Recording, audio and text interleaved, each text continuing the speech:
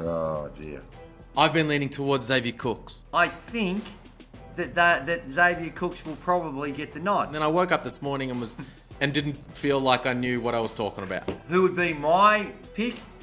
I would probably lean more towards Mitch Creek. Hmm. Hold on, Bryce. My God, like have, have I have I got voter fatigue? I'm not even voting, but do I have the proverbial voter fatigue on Bryce Cotton? Oh gee.